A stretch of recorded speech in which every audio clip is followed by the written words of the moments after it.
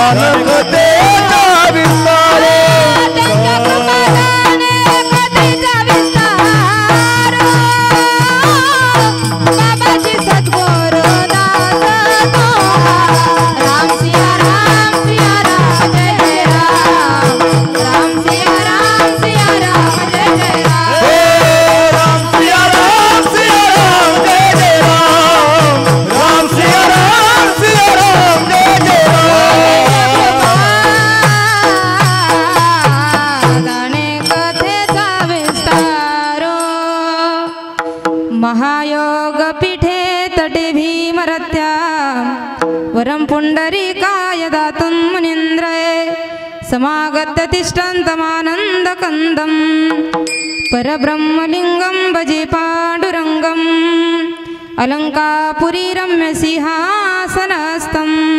पदं वोजते जस्पुरीदिक्प्रदेशं दिक्प्रदेशं विदिन्द्रादिदेवैः सदा स्तूयमानं समाधिस्थमूर्तिं भजे ज्ञानम्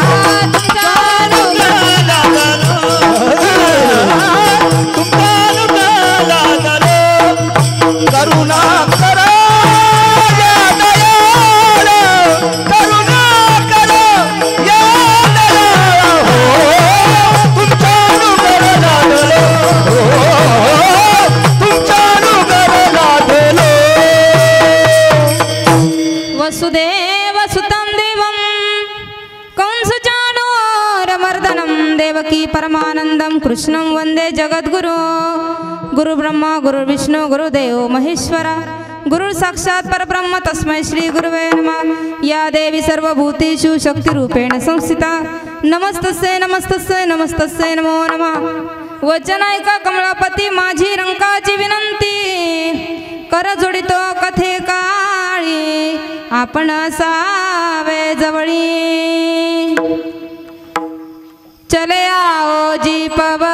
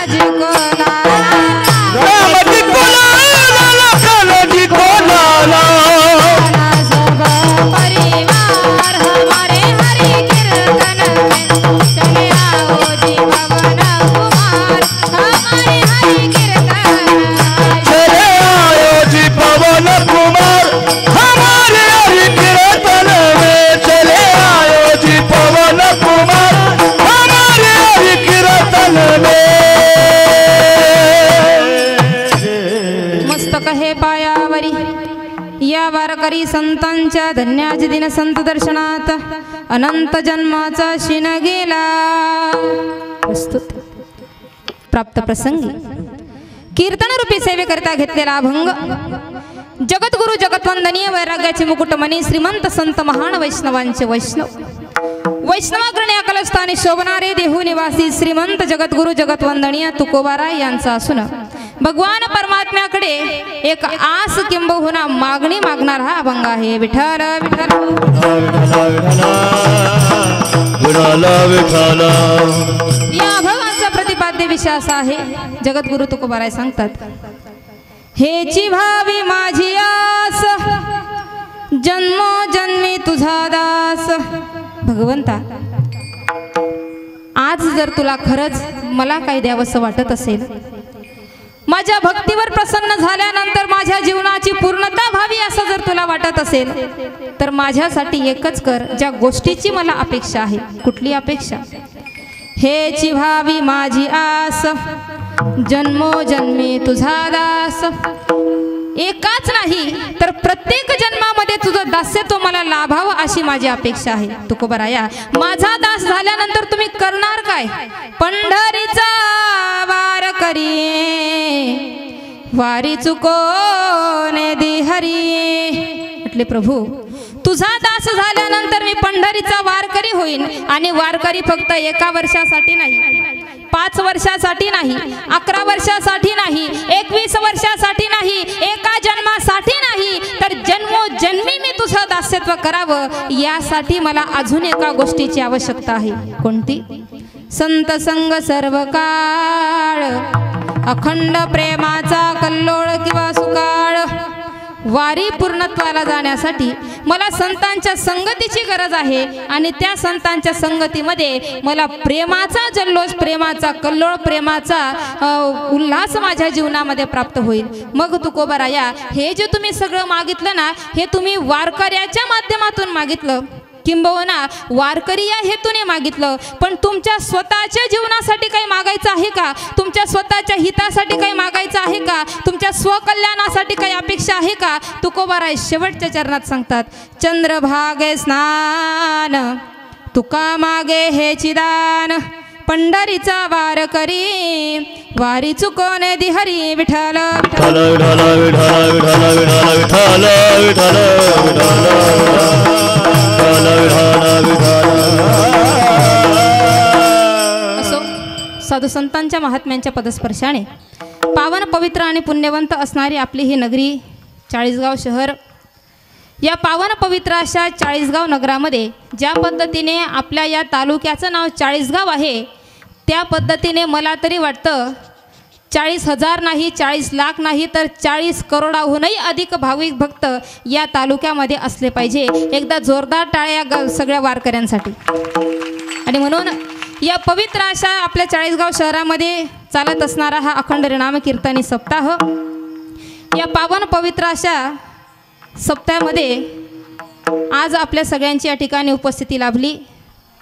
या ठिकाणी उपस्थित असणारे समस्त हरिभक्त परायण महाराज मंडळी यांच्या सगळ्यांच्या आगमनाचं जर एकमेव कारण असेल तर सगळ्यांच्या परिचयाचे श्री आदरणीय हरिभक्त परायण आमचे शरद काका हरिभक्त परायण काकांचे मोठे बंधू बापू आनंदा महाजन व शरद आनंदा महाजन काकांच्या मात्या पित्यांच्या पुण्यस्मरणार्थ म्हणजेच वैकुंठवासी श्री हरिभक्त परायण आनंदा मालजी महाजन व वैकुंठवासी हरिभक्त परायण बायजाबाई आनंदा महाजन यांच्या पुण्यस्मरणार्थ कार्तिकी एकादशीच्या निमित्ताने व तुलसी विवाहाच्या निमित्ताने हा अखंड नाम कीर्तनी सप्ताह गेल्या नऊ वर्षाची परंपरा या अखंड नाम कीर्तनी सप्ताहाची चालत आहे. आणि या सप्ताहामध्ये जवळजवळ आजचा सातवा दिवस. या सातव्या दिवसाची कीर्तनरूपी सेवा माझ्यासारख्या पामराच्या वाटेला आली. त्याचबरोबर या सेवेसाठी उपस्थित असणारी महाराज मंडळी विशेष करून ज्यांच्या मृदुंगाची थाप ऐकल्याबरोबर चांगले चांगले जागे होतात.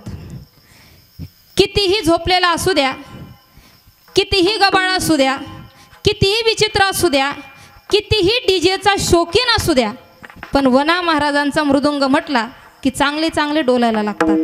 आणि म्हणून आदरणीय आमचे वना महाराज यांची उपस्थिती आहे. त्याचबरोबर आदरणीय श्री हरिभक्त परायण स्वरसम्राट स्वररत्न लक्ष्मणजी महाराज घोडेगावकर आदरणीय श्री हरिभक्त परायण ज्यांच्या आवाजाने सारा महाराष्ट्र हा दुमदुमून उठला आहे असे असणारे नवनीत महाराज टाकर खेडेकर चाळीसगाव शहराचं वैभव असणारे आदरणीय श्री हरिभर हरिभक्त परायण भालेकर सर यांची उपस्थिती आहे. त्याचबरोबर या ठिकाणी माझ्यापेक्षा ज्ञानाने मानाने गुणाने वयाने सर्वश्रेष्ठ असणारी गुणीजन मंडळी आहे. आदरणीय दत्ताजी महाराज देवळीकर यांची उपस्थिती आहे. त्याचबरोबर श्री संत तुकाराम भजनी मंडळ श्री संत श्रीपाद भजनी मंडळ मारुती भजनी मंडळ आणि त्याचबरोबर ज्ञानदेवी भजनी मंडळ संत सेवा भजनी मंडळ महिला भजनी मंडळ अजून कुणाकुणाचं वर्णन करावं कुणाकुणाचं सोडावं? जवळजवळ पूर्ण चाळीसगाव तालुक्यातीलच भजनी मंडळ आणि हरिभक्त परायण मंडळाची या ठिकाणी उपस्थिती आहे. विशेष करून या ठिकाणी उपस्थिती लाभली श्री गुरुवर्य दादाजी महाराज देवळीकर श्री संत तुकोबाराय वारकरी शिक्षण संस्था या संस्थेतील समस्त विद्यार्थी आणि त्याचबरोबर आज खरोखर परीक्षेसाठीच जे बसलेले आहेत म्हणजे घेण्यासाठी आमचे गोपाळजी महाराज दोनगावकर आदरणीय आमचे स्वप्नील भाऊ आहेत आमचे विनीत महाराज यांची उपस्थिती आहे आणि अजून ज्ञानतज्ञ ज्ञात असणारी समस्त महाराज मंडळी त्याचबरोबर माझा आवाज तुमच्या कानापासून मनापर्यंत पोचवण्याची उत्कृष्ट साऊंड सिस्टीमची सेवा म्हणजे शीतल साऊंड सिस्टीम आमचे दादा आहेत त्यांची उपस्थिती आहे. आणि आज ज्यांच्या चॅनलच्या माध्यमातून आपल्या या चाळीसगाव शहरातील हा मातृपितृ कृपेने चालत असणारा जो काही सप्ताह आहे हा प्रत्येक जनसामान्यापर्यंत पोचवण्याची सेवा ज्यांच्या माध्यमातून आहे असे असणारे आमचे भयानेकर भैयादादा आणि उपस्थित असणारी समस्त महाराज मंडळी असो एकदा जोरदार टाळ्या झाल्या पाहिजे सगळ्यांसाठी. विठाल विठाला विठाला विठाला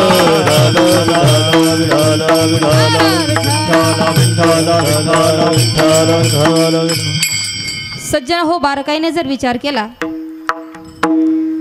प्रत्येक कार्य आणि कार्यामागचा कारणत्व भाव या दोन गोष्टी जाणणं गरजेचं आहे. कार्य कोणतंही असू द्या कार्य लग्नाचं असू द्या कार्य साखरपुड्याचं असू द्या कार्य वास्तुशांतीचं असू द्या कार्यक्रम म्हटला की कार्याचं नियोजन आणि प्रयोजन या दोन गोष्टी येतात. जवळजवळ नऊ वर्षापासून चालत असणारा हा अखंड नाम कीर्तनी सप्ताह याच्या मागचं कारण जर पाहिलं ना तर स्वर्गवासी आई आणि बाबा. विचार सत्याच्या केला महाराज. धकाधकीच्या जीवनामध्ये सध्याच्या धावपळीच्या जीवनामध्ये कुणालाही कुणासाठी द्यायला वेळ नाही आहे आज प्रत्येक व्यक्ती पैशाच्या पाठीमागे धावते. प्रत्येकाच्या जीवनातील अपेक्षा एकच आहे की आमच्या जीवनामध्ये धन संपदा सुख शांती द्रव्य नारी दारा सगळं सगळं सगळं यावं. या प्रत्येक गोष्टीसाठी प्रत्येक माणूस धावपळ करत आहे. पण जेणेकरून आपल्या स्वर्गवासी माता पित्यांच्या आत्म्यास चिरशांती लाभावी यासाठी फक्त आम्ही काय करतो? दहा दिवसाचा दशक्रिया विधी. तो आता शॉर्टकट आला पाच दिवसाचा. तोही शॉर्टकट आला कुणी आता दीडच दिवसात उरकतं. आणि काही ठिकाणी तर असं पाहायला मिळतं मुलगा जर परदेशामध्ये असेल तर तो परदेशातून ब्राह्मण बुवांना फोन करतो. ब्राह्मण बुवा तुमची डबलची फी देतो. माझ्या वाटचं मुंडन पण तुम्हीच करा. एवढा अवघड कार्यक्रम झाला आहे पण खरोखर सज्जन हो मानावं लागेल या कुटुंबाला मानावं लागेल या परिवाराला की ज्यांनी पन्नास वर्षापूर्वी गेलेल्या आपल्या बापासाठी आपल्या आईसाठी हा सोहळा ज्यांनी चालू केला. महाराज किती सुंदर संगम जुळून येतो. खूप सुंदर संगम आहे. कार्तिकी एकादशी तुलसी विवाह आणि माता पित्याचं पुण्यस्मरण. सज्जन हो आई वडिलांची महती जेवढी गायली तेवढी थोडीच आहे. आपण साऱ्या महाराष्ट्राच्या हृदयामध्ये कानाकोपऱ्यामध्ये हा विषय पोहोचवण्याचा प्रयत्न करतो. कुठेही कीर्तन असू द्या कोणत्याही गावाला असू द्या कोणत्याही तालुक्यात कोणत्याही जिल्ह्यात महाराष्ट्रात काय पण महाराष्ट्राच्या बाहेर जरी असलं ना तरी लोकांची आवर्जून एका गोष्टीसाठी मागणी असते ताई तुम्ही कीर्तन पंधरा मिनटं लवकर आवरलं चालेल पण कीर्तनामध्ये आई वडिलांविषयी बोलाच. पण तुम्हाला एक सांगू का? आम्ही आई वडिलांविषयी बोलून बोलून बोलून बोलून आमचं जे बोलणं आहे ना ते तुमचं पाठ झालेलं आहे. नाही का? प्रत्येकाच्या ओठावरचं गाणं प्रत्येकाच्या मुखामधलं गाणं प्रत्येकाच्या मोबाईलमधलं गाणं प्रत्येकाच्या घरापर्यंत पोचलेलं गाणं. आई माझी मायेचा सागर. प्रत्येकाला येतं नाही का? सगळ्यांना येतं. एवढ्यापासून एवढ्यापर्यंत सगळ्यांना येतं. पण तुम्हाला एक सांगू का? हे गाणं फक्त आपल्या ओठासाठी मर्यादित राहिलं. फक्त आपल्या मोबाईलसाठी मर्यादित राहिलं.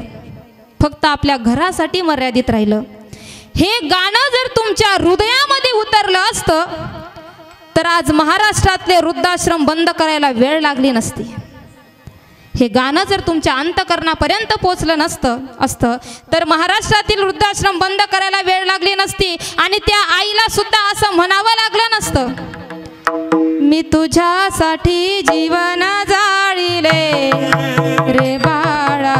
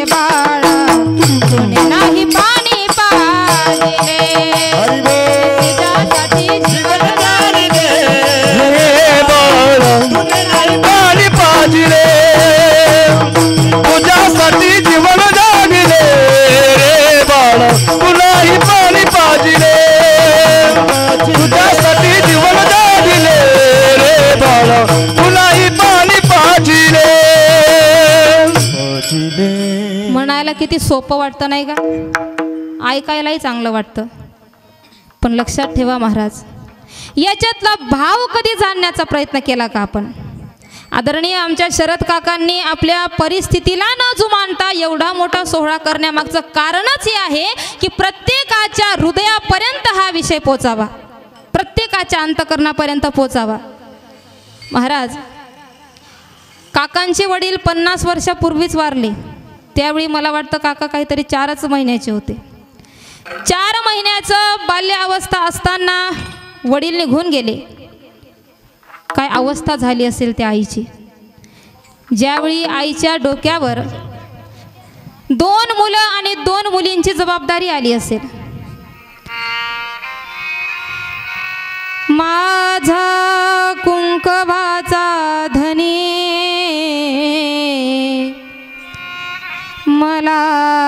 गेला ग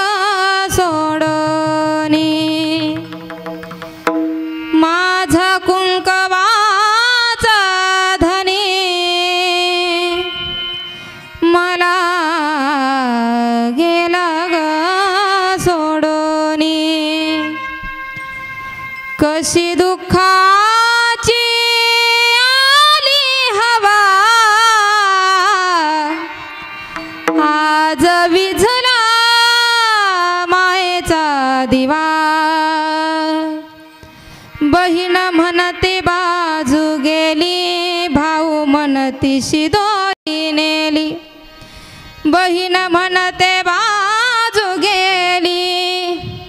भाऊ म्हणती दोरी नेली मुलगी विसरली.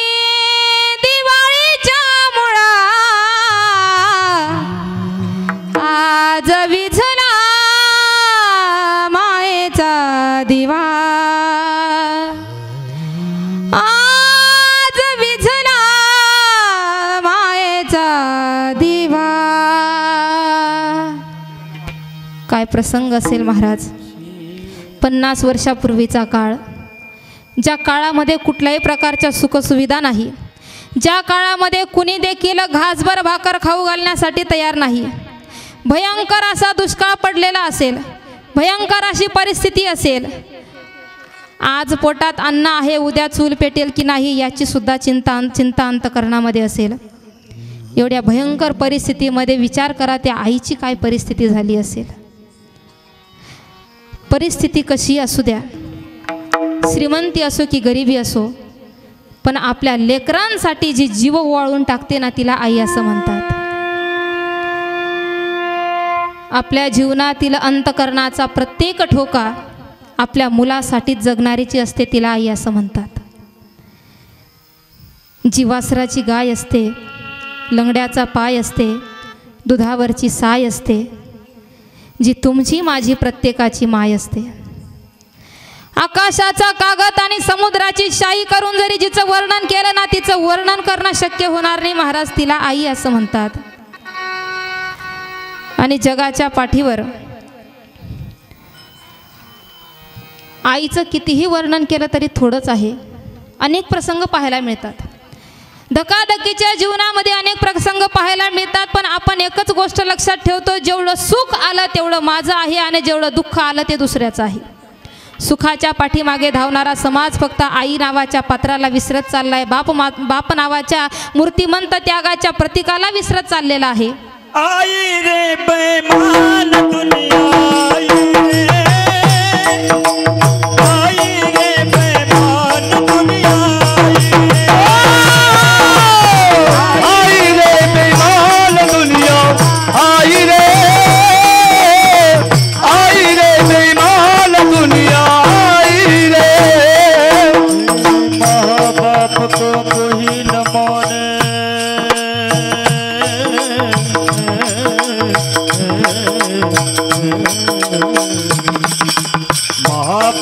को कोई न माने औरत को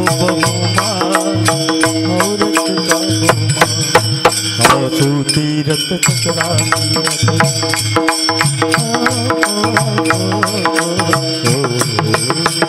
सासू तीरथ कतरा तीर तीरथ साला साली माँ। बाप तो नदी नाल भाई सब तीरथ गरबान दुनिया आई रे आई रे मेहमान दुनिया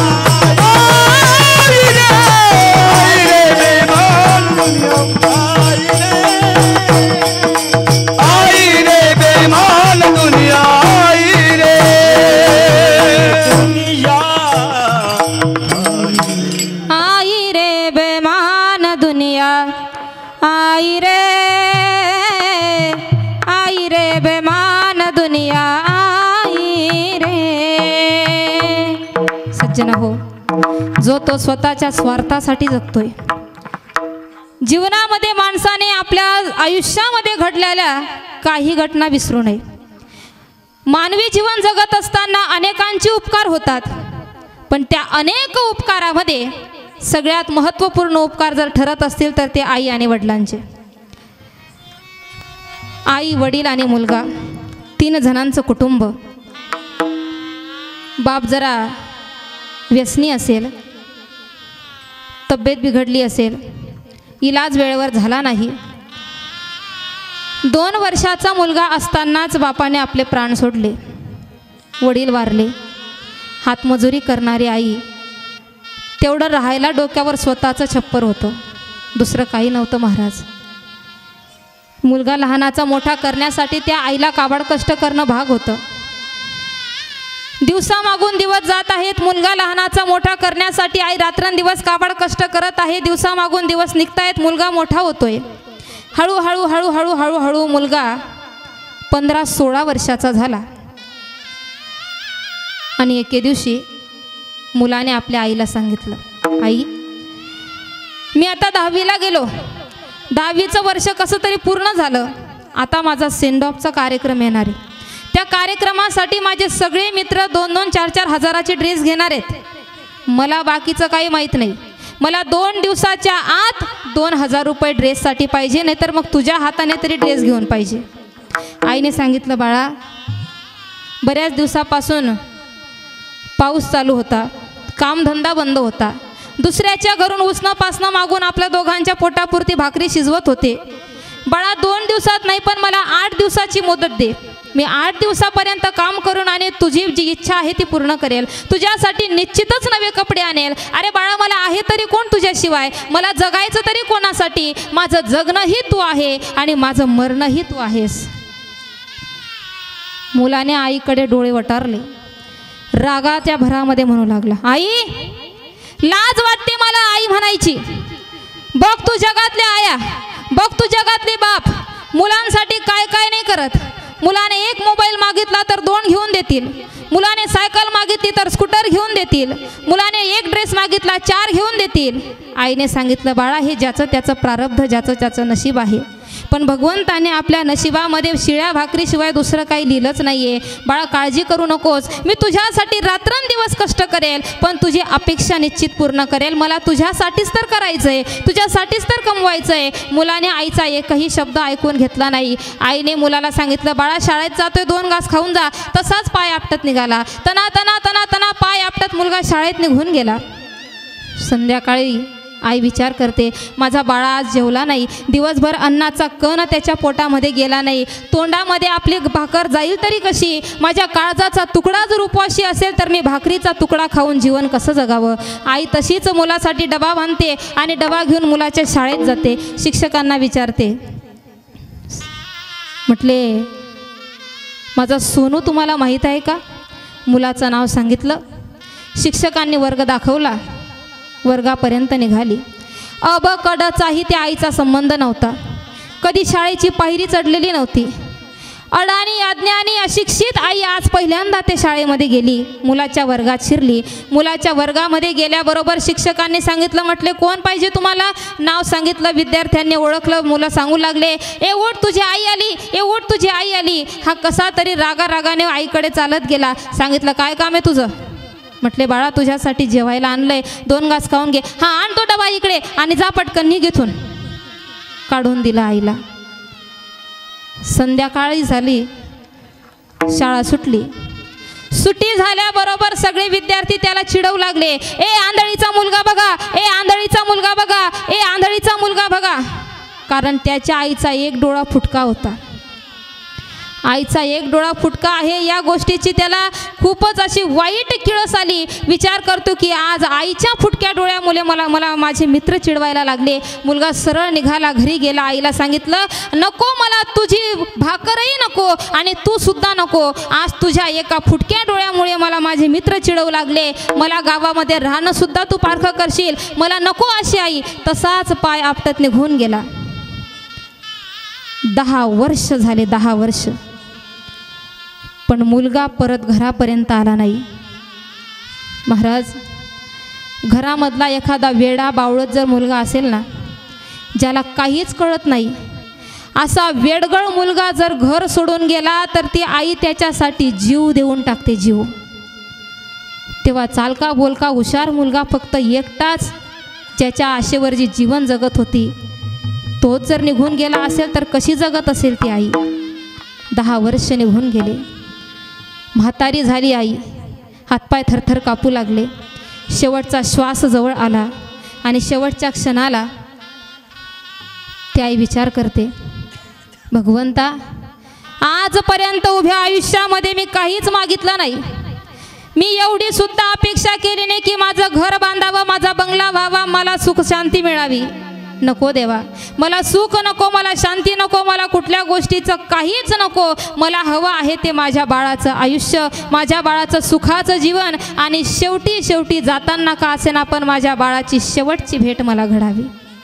फक्त शेवटच्या भेटीने जी आई थांबलेली होती. आईला कळून चुकलं. आता हे प्राण देहामध्ये थांबणार नाही. आता शेवटचा निरोप घेण्याची वेळ आलेली आहे. पण काय करणार? गावाच्या पंचायतीच्या ओट्यावर ज्या आईने आपले प्राण सोडले महाराज. कारण ज्या घरामध्ये राहत होती ते घरसुद्धा तिने मुलाच्या शोधासाठी विकून टाकलेलं होतं. गावाच्या ग्रामपंचायतच्या ओटी ओट्यावर एका फाटक्या गोंडपाटावर आईने आपले प्राण सोडले. पण प्राण सोडण्यापूर्वी एका मुलाच्या मित्राला सांगून गेली होती बाळा जेवढे दोन शब्द तुला सांगते तेवढे लिहून घे आणि माझा बाळा कधीही भविष्यात या गावात परत आला तुला जर कधी भेटला ना तर त्याला माझा एवढा शेवटचा निरोप या चिठ्ठीच्या माध्यमातून दे. निघून गेली आई. सरली प्रीती तुटले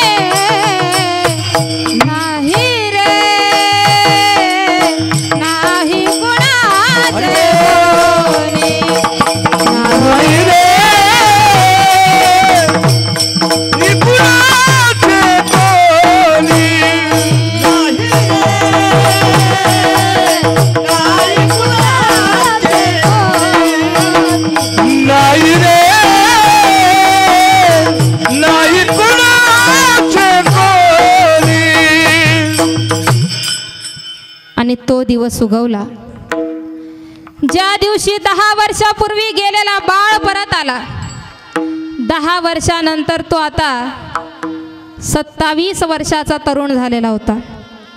परत आला गावावर. गावकरी लोक जमा झाले. प्रत्येकाला कौतुक कुतूहल वाटू लागलं.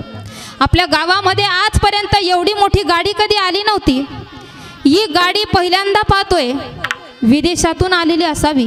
कुणीतरी परदेशी माणूस असला पाहिजे कुणीतरी भयंकर श्रीमंत व्यक्ती असली पाहिजे त्या गाडीचा दरवाजा उघडला. गेट उघडल्याबरोबर एक कुणीतरी सुटबुट घातलेली व्यक्ती गाडीच्या खाली उतरली. खाली उतरलेल्या व्यक्तीने जवळजवळ सगळ्यांचे चेहरे ओळखले. पण त्या व्यक्तीला कुणी ओळखत नव्हतं. आणि त्या सूटबूट घातलेल्या साहेबाने आपल्या जवळ असणाऱ्या एका आजोबांचा हात धरला. सांगितलं म्हटले आजोबा इथे एक घर होतं. तीन मजली बिल्डिंग कशी झाली? म्हटले घराची जी मालकीन होती ना तिने ते विकलं. याने सांगितलं बरोबर आहे. कमवायची दानत नसेल खाल्लं विकून म्हातारीने. एवढा शब्द ऐकल्याबरोबर गावकऱ्यांनी ओळखले की हा आहे ना आहे. म्हातारीचा मुलगाच. दोन माणसं जवळ येतात. म्हटले का रे सोनू? दहा वर्षापासून गेला होता परत आला? म्हटले आलो माझं जरा कागदपत्राचं काम अटकलं होतं. काम संपलं की निघायचंय. तेवढ्यामध्ये त्याचा मित्र जवळ येतो. मित्राने सांगितलं म्हटले एक वर्षापासून मी चिठ्ठी सांभाळून ठेवली आहे तुझ्या आईने जाताना मला दिली होती. म्हटले कशासाठी दिली? अरे एकदा वाचून तर बघ. त्या मुलाने ती चिठ्ठी घेतली. त्या चिठ्ठीवर लिहिलेलं होतं माझ्या अंतकरणाचा माझ्या काळजाचा तुकडा माझा बाळ. तुला नऊ महिने नऊ दिवसापर्यंत मी माझ्या पोटामध्ये सांभाळलं. तुझ्यासाठी हाडाची काळं रक्ताचं पाणी केलं. बाळा मी परिस्थितीचा विचार केला नाही तुझे सगळे लाड पुरवले. बाळा तुझे वडील निघून गेल्यानंतर मी तुझ्या आणि माझ्या प्रत्येकाच्या जीवनाच्या सुखदुःखाच्या पारड्यामध्ये नेहमी तुझ्याच सुखाचा विश्वास तुझ्याच सुखाचा विचार केला. पण काय करावं बाळा? माझं नशीब फुटकं माझ्या नशिबामध्ये मला मुलाचं प्रेम मिळालं नाही. त्याच्या मागचं जरा कारण ऐकून घे. पुढे आईने लिहिलं होतं बाळा तू जेव्हा दोन वर्षाचा होता ना तेव्हा मी छतावर काही काम करत होते. तू खाली रडत होता म्हणून मी तुला वरती आणलं. छतावर मी काम करत असताना तू जरा रांगत होता चालत होता चालता चालता चालता चालता तू छताच्या कडेपर्यंत येऊन पोचला. शेवटी खाली ढुंकू लागला. मी कामात व्यस्त होती तुझा पाय घसरला आणि पाय घसरल्याबरोबर तू खाली पडला. बाळ खाली पडल्याबरोबर तुझ्या डोळ्यामध्ये एक मोठा दगड मोठा खडा घुसला आणि तुझा डोळा त्याच क्षणाला फुटला बाळा. तू रक्तभंबाळ झालेला होता. मी तशीच धावत खाली आली. तुला पटकन उचललं आणि आता दवाखान्याच्या दिशेने मी धावू लागली. बाळा मी धावत होते धावत होते धावत होते. मी वाऱ्याच्या दिशेसार दिशेप्रमाणे मी वाऱ्याप्रमाणे धावत होते. आणि कुणीतरी मला सहारा द्या कुणीतरी माझी मदत करा कुणीतरी माझ्या बाळाला वाचवा म्हणून मी साऱ्या समाजाच्या विनवण्या करत होती. अरे बाळा श्रीमंताला सगळे मदत करतात श्रीमंताला सगळे उभे राहतात श्रीमंतासाठी सगळे धावून येतात. पण ज्या गरीब आईच्या हातामध्ये कवडी नाही तिच्यासाठी कोण धावून येईल? कोण धावून येईल बाळा तिच्यासाठी? कशी तरी दवाखान्यापर्यंत पोचली.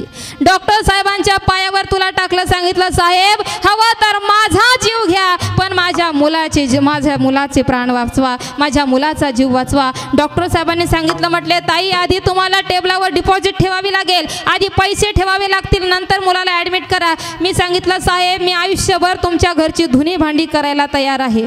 एक रुपया पगार देऊ नका पण मुलाचं ऑपरेशन करा.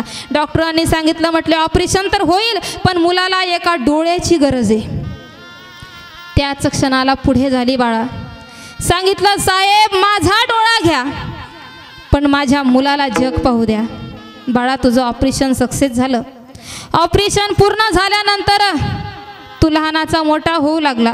तुझ्या मनामध्ये काहीतरी गर गैरसमज काहीतरी विचित्र भावना निर्माण झाल्या असतील. पण बाळा एक गोष्ट लक्षात ठेव. आज तुझे जग पाहतोय ना आज तुझे विश्व पाहतोय ना आज तुझे सृष्टी पाहतोय ना ती सृष्टी फक्त या आईच्या दृष्टीमुळे पाहतोय हे विसरू नको. ती सृष्टी या आईच्या दृष्टीमुळे पाहतोय आणि त्याच वेळी त्या मुलाला महाराज दिशा कळली नाही. मुलगा भयभीत झाला.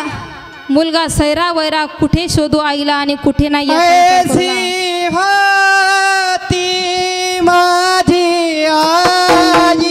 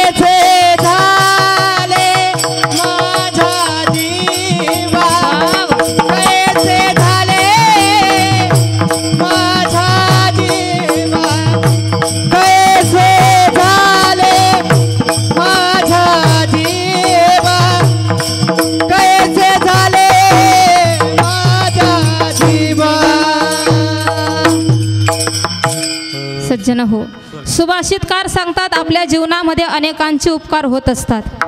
आपल्या जीवनामध्ये रविचंद्र घनावृक्षा नदी गावस्य सज्जना आपल्या जीवनामध्ये सूर्याचे उपकार आहेत. दिवसा आहे रात्री नाही अपूर्ण ठरतो. चंद्राचे उपकार आहेत फक्त पौर्णिमेला पूर्ण आहे म्हणून अपूर्ण ठरतो.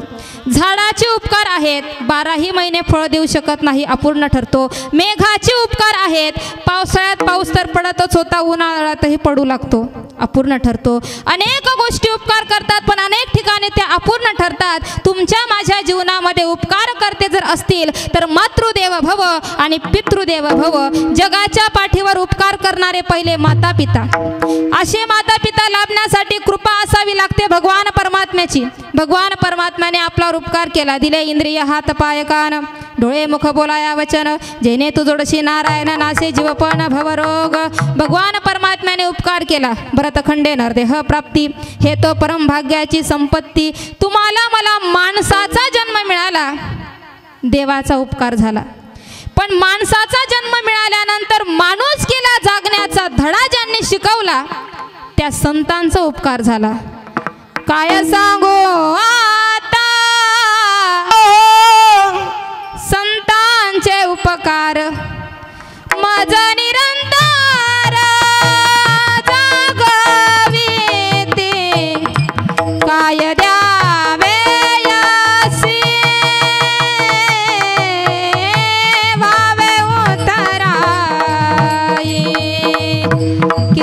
किती द्यावे. किती प्रमाणात द्यावे? संत महात्म्यांचे उपकार झाले माणसाला माणसाने माणसासारखं वागावं. माणसाने माणसाशी माणसासारखं वागावं. माणसाने माणुसकीचा धर्म जपावा. महाराज वाईट वाटतं एका गोष्टीचं. माणूसच माणसाला शिकवतो की माणसाने माणसाशी कसं वागावं.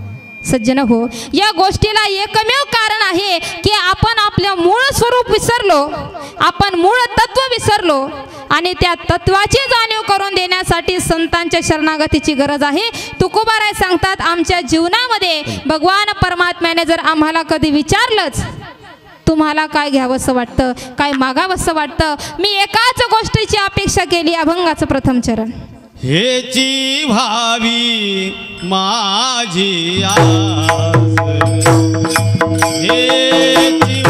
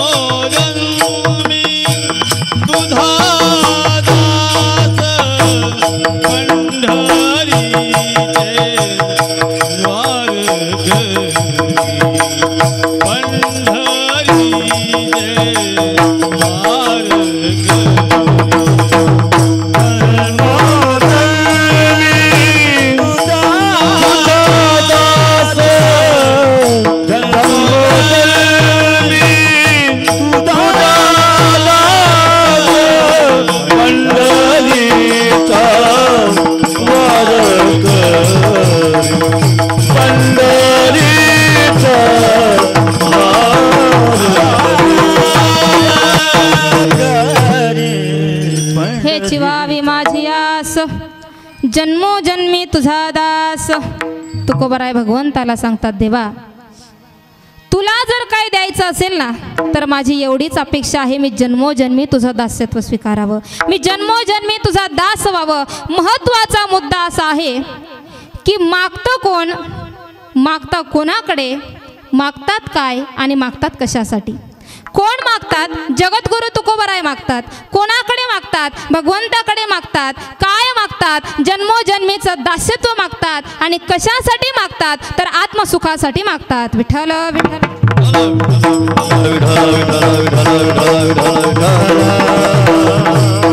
बारकाईने विचार जर केला कोण मागतात? ज्याचं जीवन अपूर्ण आहे तो मागतो. ज्याच्या जीवनात पूर्णता आहे तो कशाला मागेल? जीवन जर अपूर्ण असेल जी गोष्ट माझ्याकडे नाही ती मिळावी म्हणून मी मागेल. पण ज्या गोष्टी माझ्याकडे आहेत त्या मागण्याची गरजच नाही. महाराज तुकोबाराय भगवान परमात्म्याला सांगतात देवा पहिली गोष्ट मागणं आम्हाला संभवत नाही.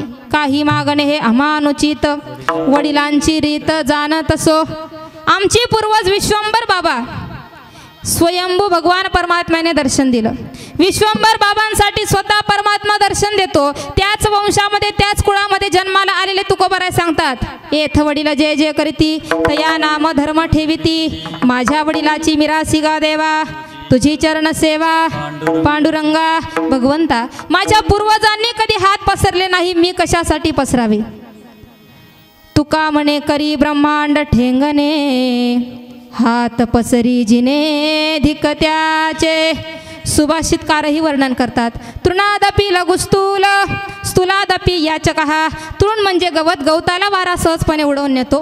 गवताच्या जोडीला कापूस आला त्यालाही उडवतो. गवत आणि कापसाच्या जोडीला जर याचक आला तर त्याला वारा हलवत सुद्धा नाही. म्हणजे गवत आणि कापसापेक्षा सुद्धा खालच्या कुटीमध्ये याचकाला जमा केलं गेलं याचा अर्थ तुकोबा राय आणि मागणं हे समीकरणच जुळत नाही. विठ्ठल विठ्ठल.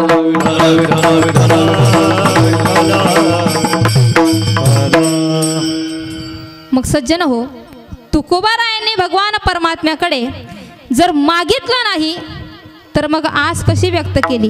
हेची व्हावी माझी आस जन्मोजन्मी तुझा दास. सज्जन हो आस याचा अर्थ आशा इच्छा. प्रत्येक माणसाच्या काही ना काही इच्छा असतात काही ना काही आशा असतात काही ना काही अपेक्षा असतात. ज्या अर्थी तुकोबाराय हेची शब्द वापरतात. हेची व्हावी माझी आस. त्या अर्थी भगवंताने तुकोबारायांसमोर अनेक गोष्टी उपलब्ध करून दिलेल्या असाव्यात. त्या अनेक गोष्टीमध्ये सगळ्यात पहिला क्रमांक लागतो मुक्तीचा.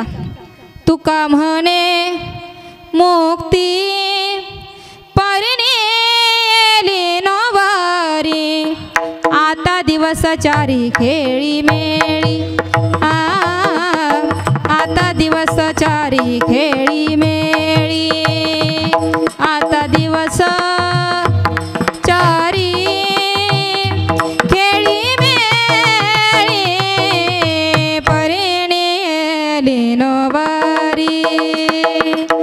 किती गोड महाराज.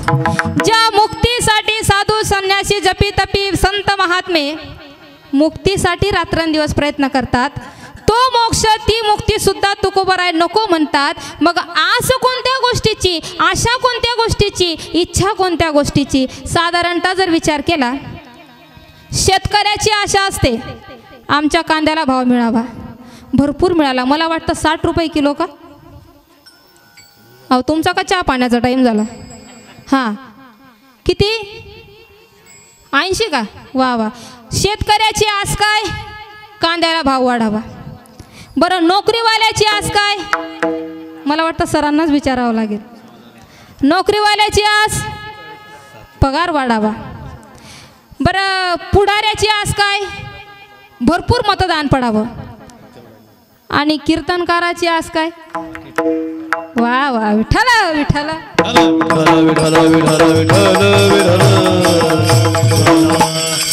माणसाची आस निश्चित पूर्ण होते पण त्यासाठी ज्याच्याकडे आस आम्ही करतोय ना त्याची प्रसन्नता असली पाहिजे. नाही का? ज्याच्याकडे आस करतो त्याची प्रसन्नता असली पाहिजे. पहिला मुद्दा समाज प्रसन्न झाला तर प्रेम मागावं. मुद्दा लक्षात ठेवा. समाज प्रसन्न झाला तर प्रेम मागावं. गुरु प्रसन्न झाले तर ज्ञान मागावं. आणि तरुण मंडळी मामा प मामा प्रसन्न झाला तर मुलगी मागावी? वा विठाला विठ्ठला.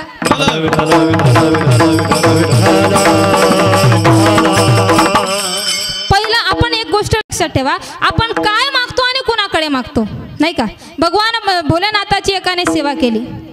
महादेव प्रसन्न झाले. विचारतात वरम रोही बाळा माग तुला काय मागायचं? त्याने सांगितलं म्हटले देवा माझा शेजारी पण तुझं तप करतोय असं मी ऐकलं. एक काम कर ना आधी त्याला विचार. तो जे मागेल त्याचं डबल मला दे. मागताना सुद्धा विचार करावा लागतो. भगवान परमात्मा शेजाऱ्याकडे जातात. वरम रोही बाळा माग तुला काय मागायचं? म्हटले देवा त्याने काय मागितलं? आता बघा इथे सुद्धा कॉम्पिटिशन आहे बरं का. इथे सुद्धा लोक विचार करतात की त्याच्यापेक्षा माझं भलं झालं पाहिजे. त्याच्यापेक्षा मी पुढे गेलो पाहिजे. त्याच्यापेक्षा मी वरचढ झालो पाहिजे. त्याच्यापेक्षा मलाच जास्त पाकिट. प्रत्येकाची आस वाढते प्रत्येकाची इच्छा वाढते. शेवटी त्या शेजाऱ्याने देवाला सांगितलं म्हटले देवा त्याने काय? म्हणे त्याने डबल मागितलंय. मग म्हटले देवा आता एक काम करा. तुम्हाला द्यायचंच आहे ना? माझा एक हात एक पाय आणि एक डोळा कायमचा जाऊ द्या. तिकडे डबल मागितलं होतं. काय झालं असेल?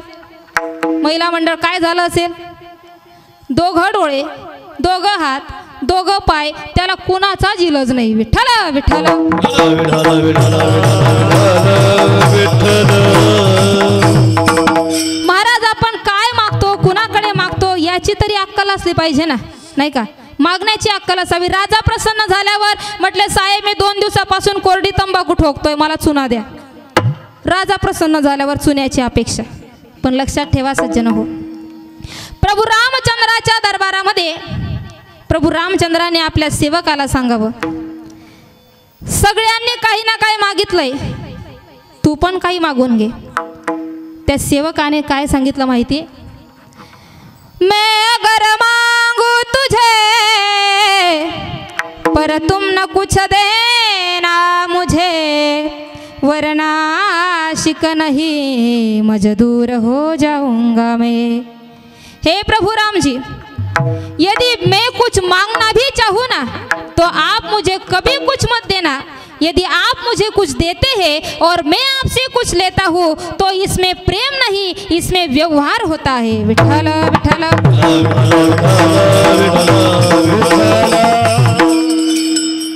तुम्हाला जर देवाकडून काही घ्यायचं असेल तर आधी मनामध्ये त्याला स्थान द्यावं लागेल. त्या भगवंताला ओळखावं लागेल त्याची रीत जाणावी लागेल. अहो जो तुमच्या माझ्या हृदयामध्ये राहतो त्याला कळत नाही का की माझ्या भक्ताला काय पाहिजे? त्यासाठी त्याला एकच म्हणावं तेरी मर्जी का? मैं हूँ गुलाम मेरे अलबेले राम मेरे अलबेले राम मेरे अलबेले राम मेरे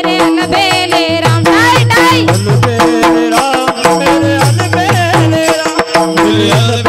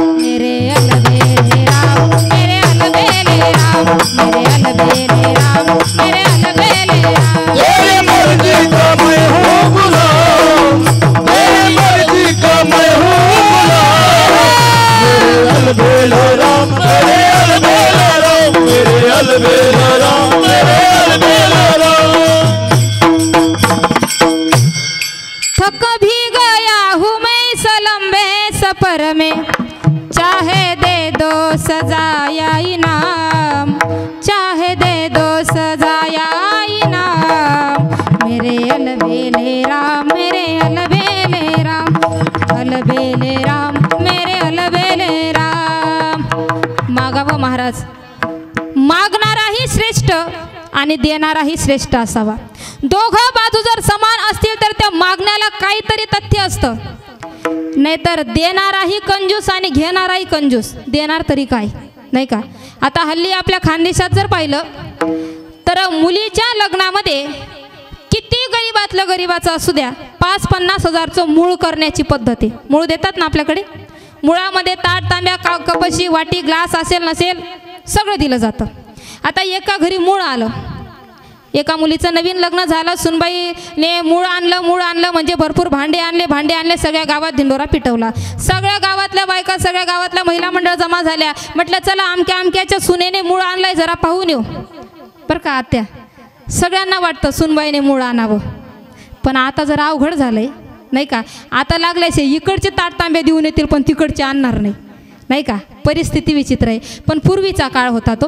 पूर्वीच्या काळी सांगितलं म्हणे मूळ आलं मूळ आलं मूळ आलं चला चला चला चला चला सगळ्या गावातल्या महिला मंडळ जायच्या. सगळ्यांनी पाहावं वा वा बाई आम्हाला सून भेटण्याची पंचायती तुला एवढं मूळ मिळा मिळालं. सून भेटण्याची पंचायती एवढं मूळ मिळालं. सगळ्यांना आनंद झाला.